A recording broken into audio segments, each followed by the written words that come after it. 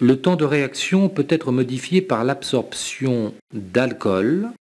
Oui, réponse A. Non, réponse B. De médicaments d'usage courant. Oui, réponse C. Non, réponse D.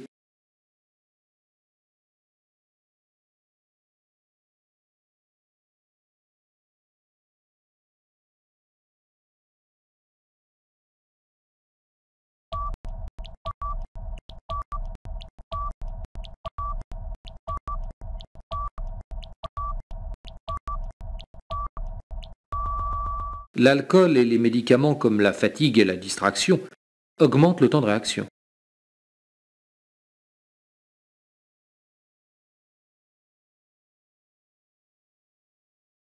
Le port de la ceinture de sécurité est obligatoire à l'avant. Oui, réponse A. Non, réponse B. À l'arrière. Oui, réponse C. Non, réponse D.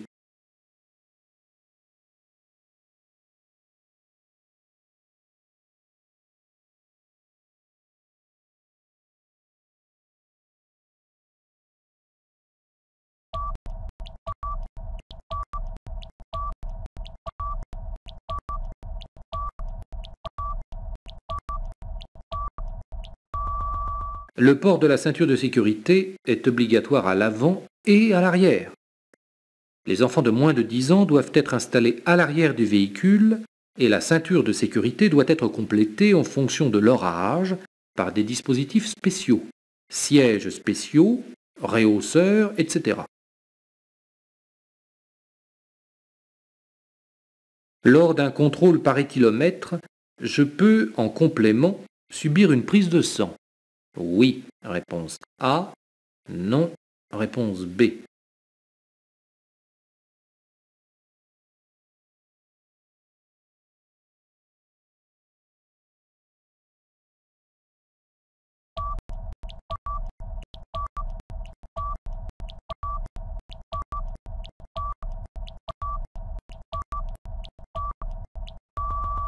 L'éthylomètre permet la mesure immédiate et précise du taux d'alcoolémie par analyse de l'air expiré. La prise de sang n'est plus justifiée.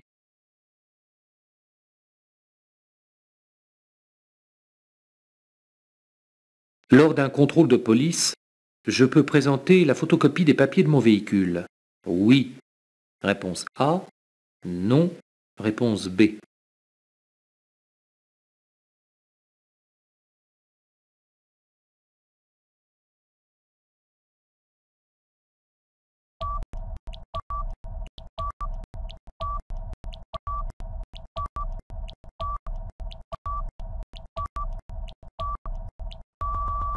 Lors des contrôles de police, je dois présenter l'original du permis de conduire et de la carte grise de la voiture, l'attestation d'assurance et le talon de la vignette fiscale. Uniquement pour les voitures de location, la photocopie certifiée conforme de la carte grise sera acceptée. La consommation de carburant peut être modifiée par le gonflage des pneus. Oui, réponse A. Non, Réponse B. Le poids du chargement. Oui. Réponse C. Non. Réponse D.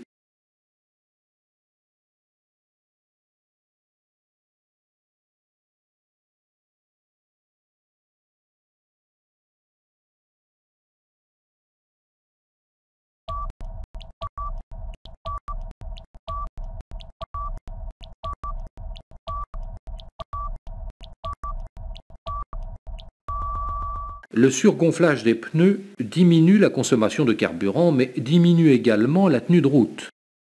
Le sous-gonflage des pneus augmente la consommation de carburant et les risques d'éclatement. Plus le véhicule est chargé, plus la consommation de carburant sera importante.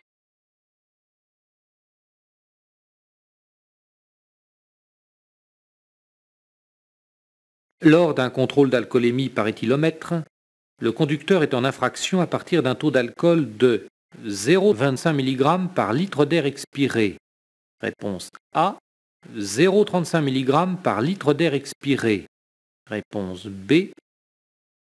0,80 mg par litre d'air expiré. Réponse C.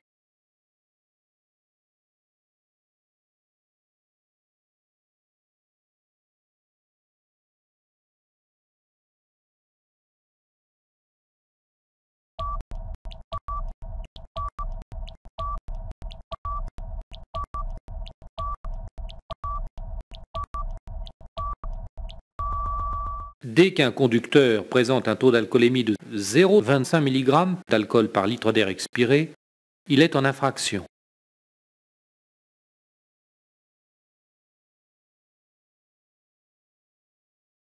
Lorsque le brouillard est épais, je me dirige d'après les feux de véhicule qui circulent devant moi. Oui, réponse A. Non, réponse B. En me guidant sur le marquage au sol. Oui, Réponse C. Non. Réponse D.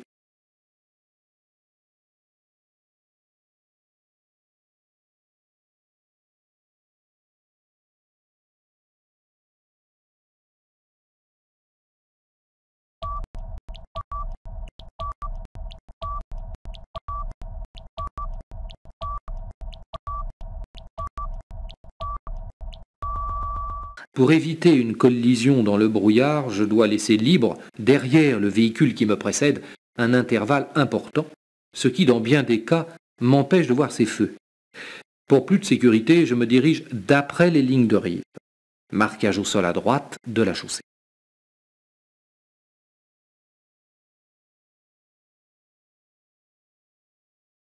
En règle générale, pour un accident matériel, il faut appeler la police ou la gendarmerie. Oui. Réponse A. Non. Réponse B.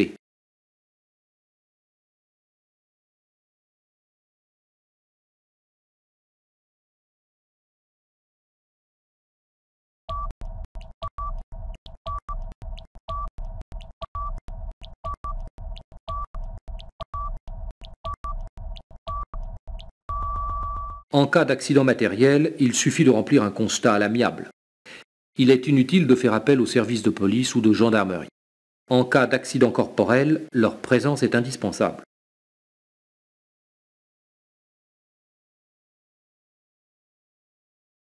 Les accidents sont plus nombreux de jour, réponse A, ou de nuit, réponse B.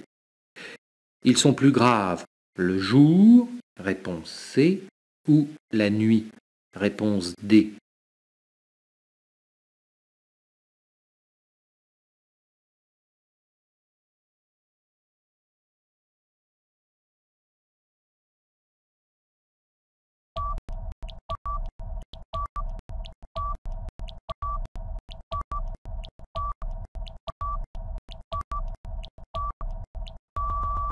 Les accidents sont plus nombreux le jour parce que plus de véhicules circulent.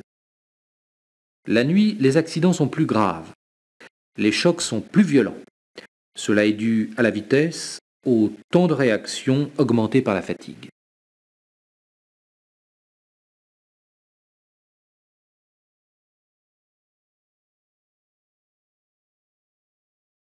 Si un conducteur ne peut pas, lors d'un contrôle, présenter son permis ou les papiers du véhicule, il devra payer une amende. Oui, réponse A. Non, réponse B. Présenter ses papiers dans les cinq jours. Oui, réponse C. Non, réponse D.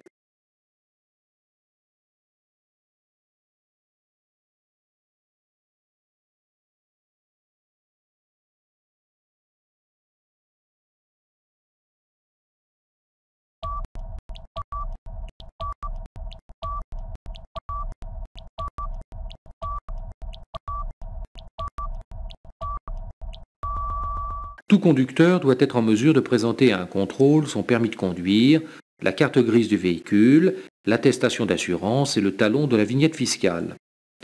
Dans le cas contraire, il devra payer une amende. Si les papiers manquants n'ont pas été présentés dans un délai de 5 jours, l'amende sera majorée.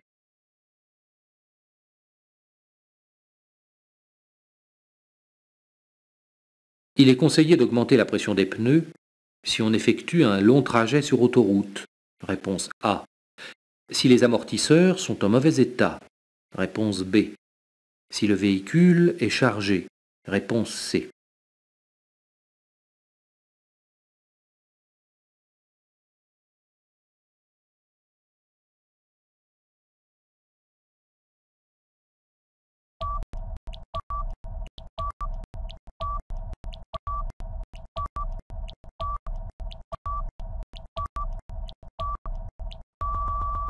Si on effectue un long trajet sur autoroute, ou si le véhicule est très chargé, on doit augmenter la pression de ses pneus pour diminuer leur déformation due à la vitesse et au poids. Si les amortisseurs sont défectueux, on doit procéder rapidement à leur remplacement.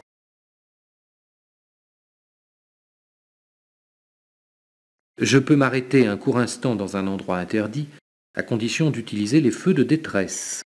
Oui, réponse A. Non, réponse B.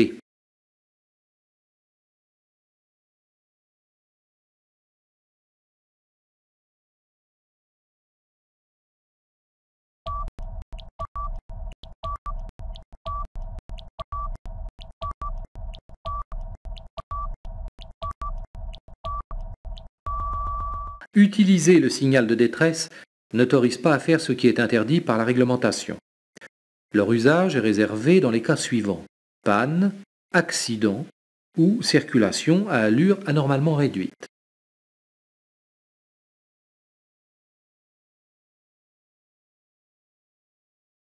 Pour économiser du carburant, il est préférable de laisser chauffer le moteur à l'arrêt. Réponse A ou de rouler doucement dès que le moteur tourne Réponse B.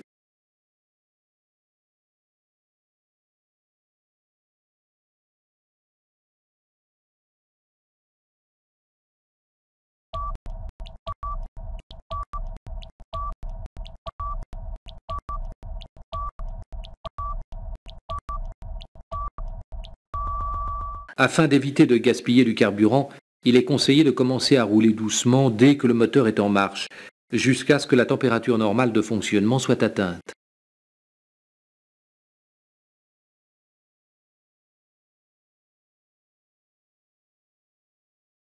Pour être mesuré avec précision, la pression des pneus doit être vérifiée à froid, réponse A, ou à chaud, réponse B.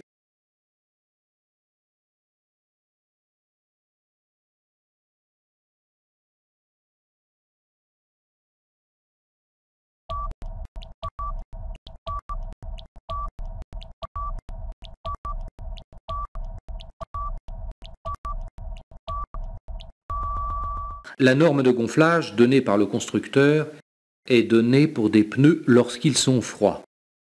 Lorsqu'ils sont chauds, l'air se dilate, la pression augmente, le gonflage dans de bonnes conditions devient impossible.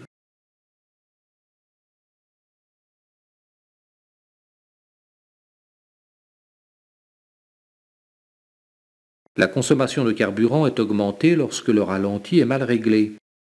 Oui, réponse A, non, réponse B.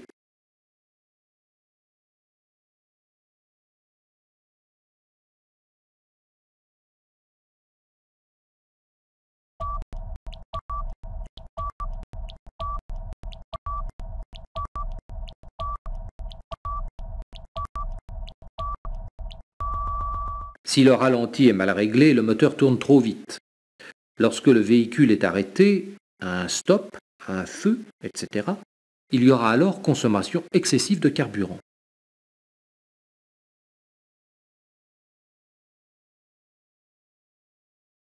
Lorsque le niveau de liquide de frein baisse dans le réservoir, il suffit d'en rajouter. Oui, réponse A. Non, réponse B.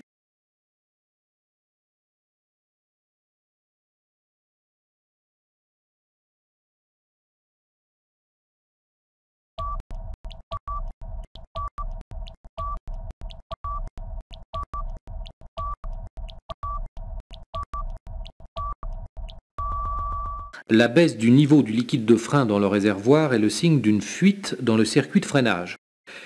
Il ne suffit pas de rajouter du liquide, mais il faut immédiatement faire vérifier le circuit de freinage par un spécialiste.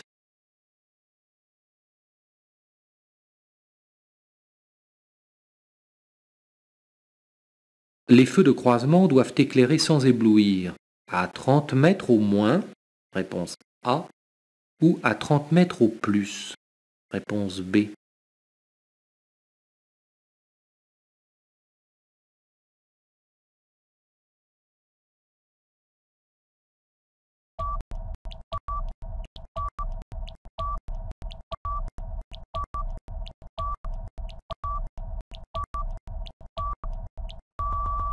Les véhicules automobiles doivent être munis à l'avant de deux feux de croisement et de deux seulement.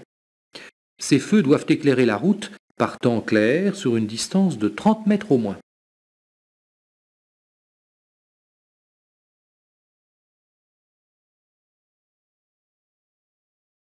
Sur les passages glissants, j'évite de freiner. Oui. Réponse A. Non. Réponse B.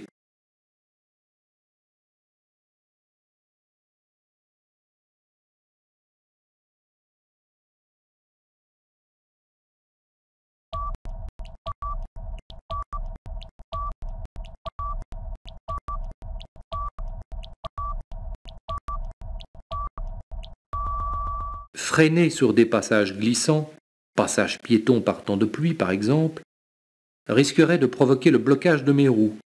La distance de freinage s'en trouverait allongée et mon véhicule deviendrait incontrôlable.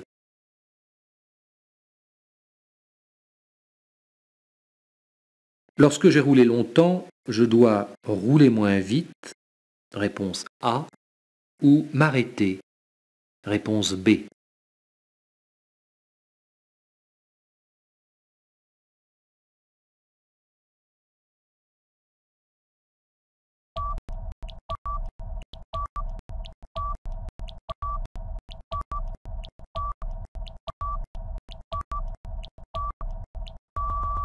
Lorsque j'ai roulé longtemps, rouler moins vite ne suffirait pas. Je dois m'arrêter environ toutes les deux heures pour me dégourdir, me reposer et me permettre de rester vigilant en conduisant.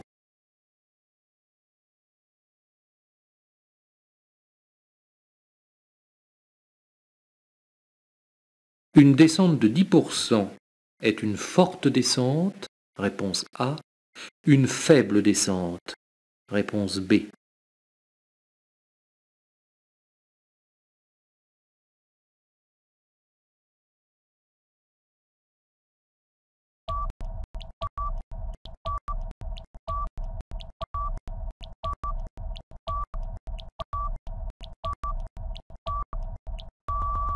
Dès lors que la déclivité est égale à 7 mètres pour 100 mètres, on dit d'une descente qu'elle est forte et dangereuse.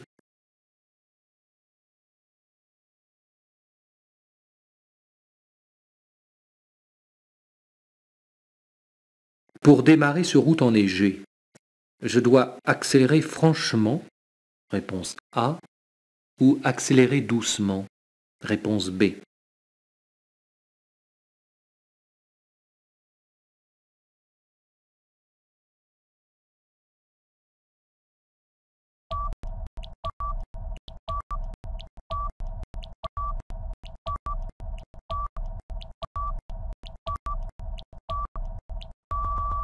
Accélérer franchement sur une route enneigée provoquerait le patinage des roues. J'éprouverais beaucoup de mal à démarrer. Il est préférable d'accélérer doucement.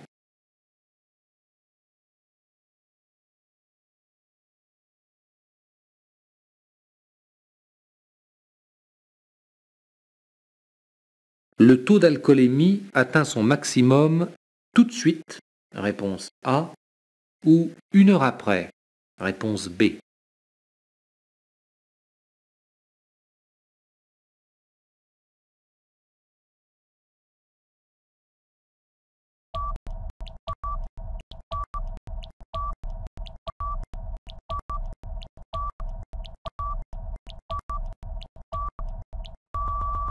le taux d'alcoolémie atteint son maximum une heure après avoir absorbé le dernier verre. Il est préférable de s'abstenir de conduire ou d'attendre que les effets de l'alcool aient totalement disparu.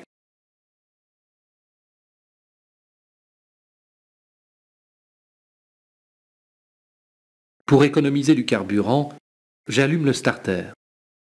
Oui, réponse A. Non. Réponse B.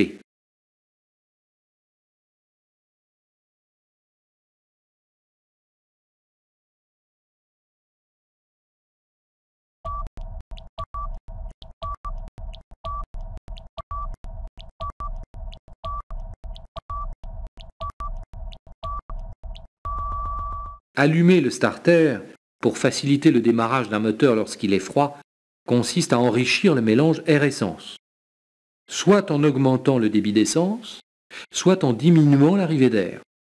Pour économiser du carburant, je dois éviter d'allumer le starter inutilement.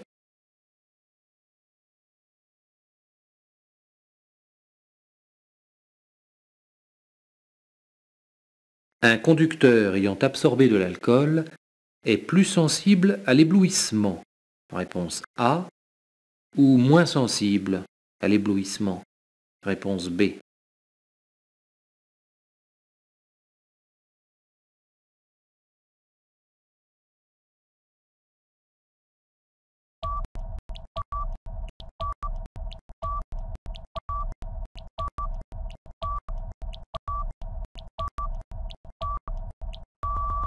L'absorption d'alcool rend beaucoup plus sensible à l'éblouissement. De plus, l'absorption d'alcool rétrécit le champ visuel.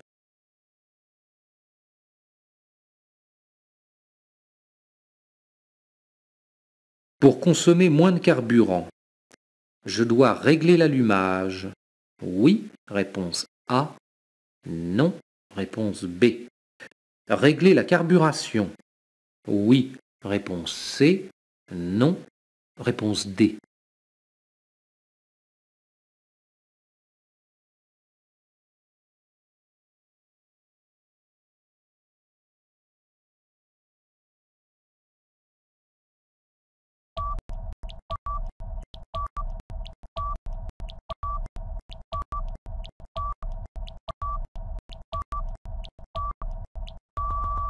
Pour consommer moins de carburant, je dois maintenir mon véhicule en bon état à savoir régler régulièrement l'allumage et la carburation.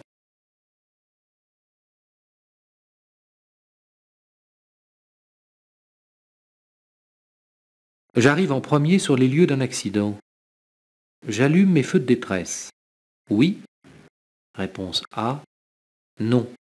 Réponse B.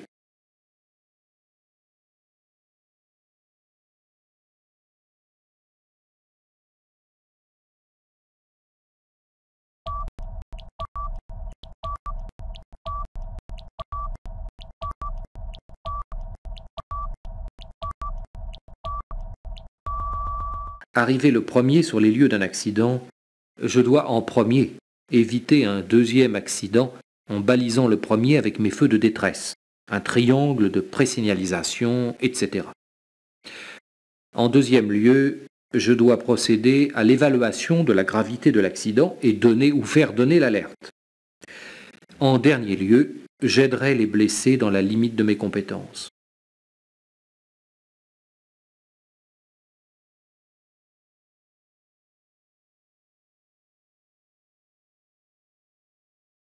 Boire de l'eau diminue le taux d'alcool dans le sang. Oui. Réponse A. Non. Réponse B.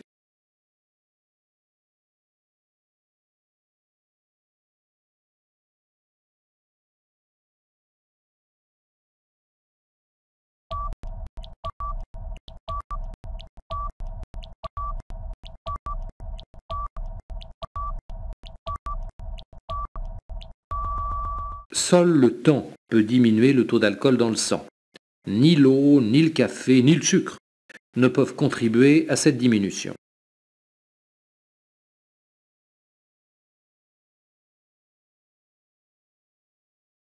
La consommation de bière diminue la fatigue. Oui, réponse A. Non, réponse B. Rétrécit le champ visuel. Oui, réponse C. Non, Réponse D.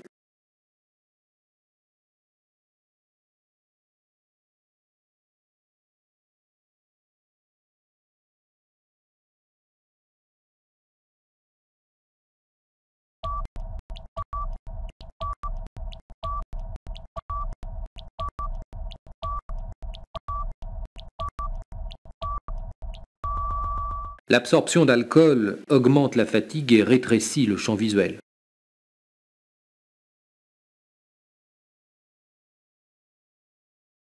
Pour baliser un lieu d'accident, je peux utiliser un triangle de sécurité. Oui. Réponse A. Non. Réponse B. Une lampe de poche. Oui. Réponse C. Non. Réponse D.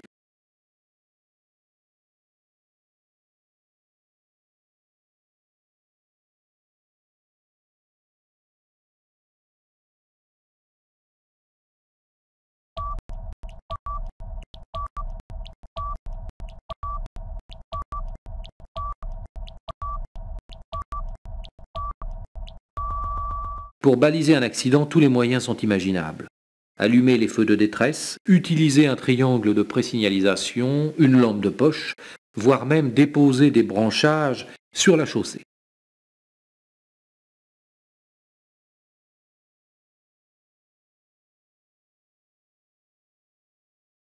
Témoin d'un accident corporel, je préviens un médecin.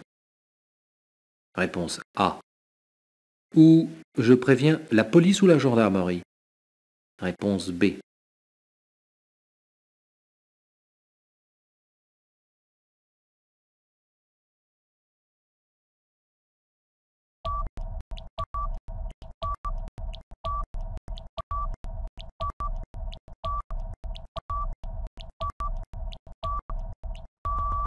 Témoin d'un accident corporel, je dois prévenir la police ou la gendarmerie qui se chargeront d'alerter les services de secours adéquats.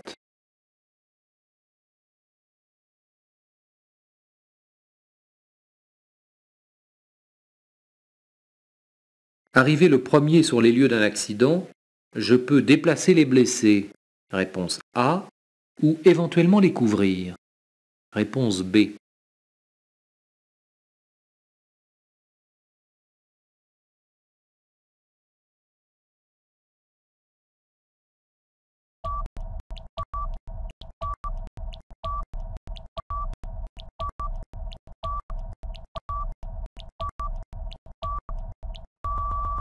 Il est interdit, sauf cas de force majeure, risque d'explosion ou d'incendie par exemple, de déplacer les blessés.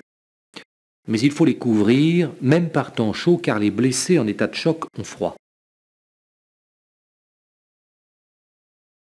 En cas d'aquaplaning, je freine, réponse A, ou je lâche l'accélérateur doucement, réponse B.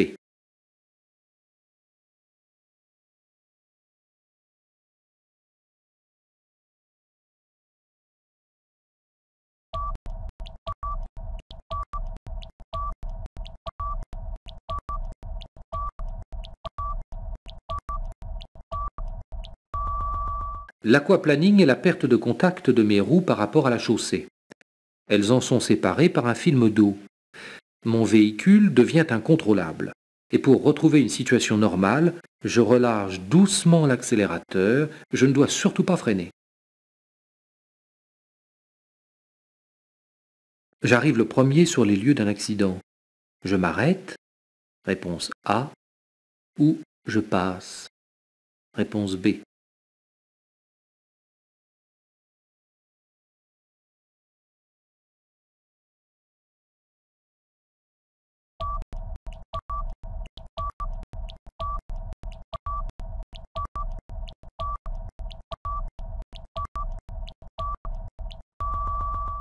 Ne pas s'arrêter lorsqu'on arrive le premier sur les lieux d'un accident est assimilé à une non-assistance à personne en danger. Cet acte est immoral et répréhensible par la loi.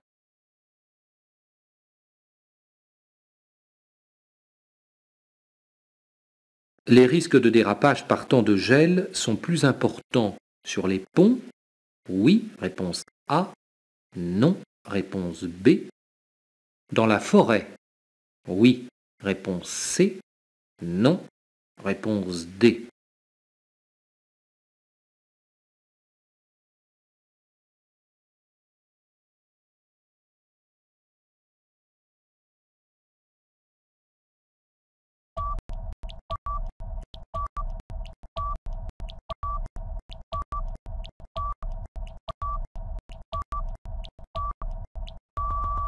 Les ponts et les forêts sont des endroits humides et exposés au courant d'air, donc plus particulièrement glissants par temps de gel.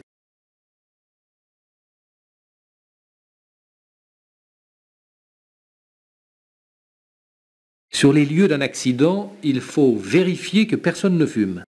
Oui, réponse A. Non, réponse B. Couper le contact des véhicules accidentés. Oui, réponse C. Non, réponse D.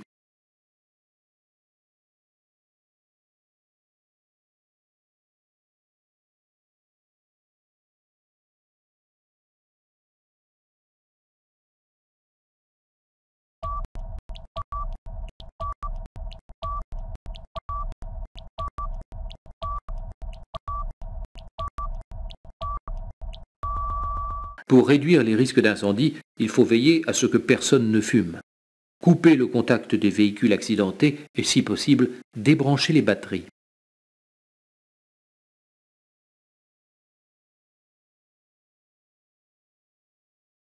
Mon véhicule doit être équipé d'au moins un essuie-glace.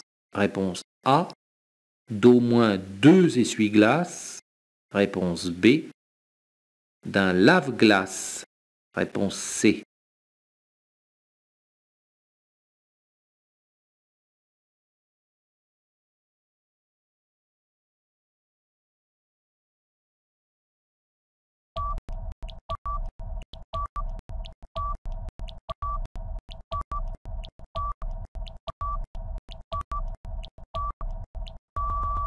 Le pare-brise de mon véhicule doit être muni d'au moins un essuie-glace et d'un dispositif lave-glace.